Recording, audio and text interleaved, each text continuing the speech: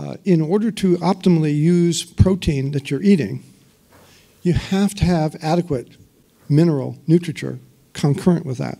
Intracellular minerals like potassium and magnesium and phosphorus are extremely important to be um, uh, contained, and there are, are, lots of examples of ketogenic diets where people have given particularly protein isolates. So again, uh, you know, vegetable protein isolates. I mean, they're great, but you know, make sure they have the potassium, phosphorus, and magnesium with them. Uh, it, otherwise, it's not well formulated and it's not going to work well. And you people can eat everything right and lose lean body mass. And then the most obvious one is salt. Uh, if you are sodium restricted, then your body is going to waste potassium. That the renin aldosterone system in the uh, in the adrenal and, and, between the adrenal and the kidney will, if you don't have enough sodium, it, they have, the body has to retain sodium to, in any way it can to maintain circulatory volume, and in so doing, it'll sac- sacrifice potassium. And so these are all again we get around to balance and you know. Uh, and so a well-formulated ketogenic diet is not just about macronutrients, but also the other associated uh, requirements that need to be in balance for this to work well. Uh, and the best way to do that is don't eat anything that has more than five ingredients. Uh, and hopefully hasn't hasn't was still attached to roots or was still breathing more, uh, uh, less than five days ago.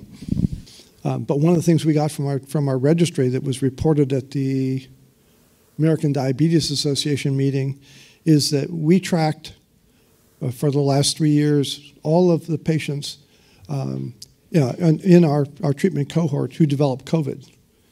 And when they told us they developed COVID, then we asked them to tell us if they were hospitalized. We asked them to have them, if, if they or their families would tell us if they required intensive care um, uh, treatment.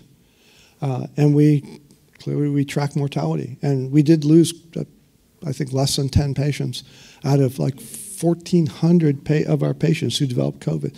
And most of these people had diabetes, which meant their prognosis was worse than average.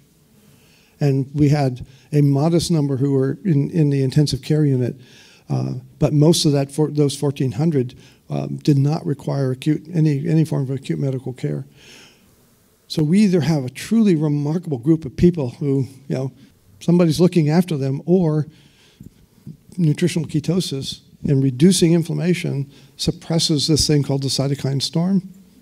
you have you've, you've written a, a, book. You know, right, you, we were actually writing another book of how to do it, which became our patient treatment manual. And we planned to plan to put this together and franchise it to medical practices and train those physicians and their staff how to do it. Um, but our experience before we met Sarah Hallberg for a year trying to work with medical practices just to do a study mm. convinced us that yeah, we had to do this whole hog. So we had our we we um, arranged for our own medical practice group. Um, we learned to do virtual medical care, and we had three years of practice at virtual virtual medical care be, before it became a necessity with COVID. Chance benefits a prepared mind, so maybe my mind was prepared, but I was not prepared for it to go like this, and I'm just thrilled to be here.